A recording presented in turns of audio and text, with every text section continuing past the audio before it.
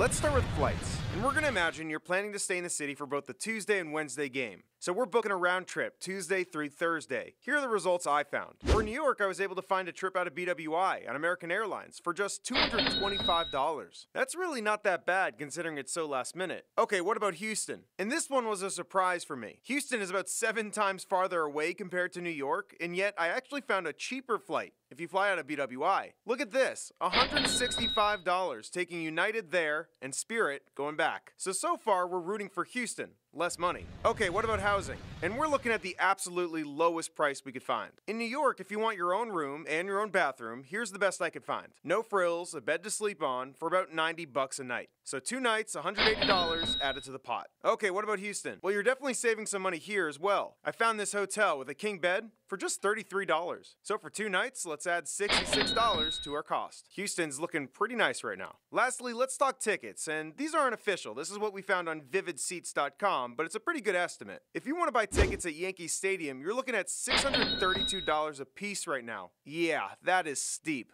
In Houston, that number is $442, more than $200 less than in New York. So let's compare New York versus Houston. If you add it all up, plane, hotel, and tickets, your total is $1,037 for New York and $673 for Houston. So that means you're saving about 400 bucks if this ends up being in Houston rather than New York.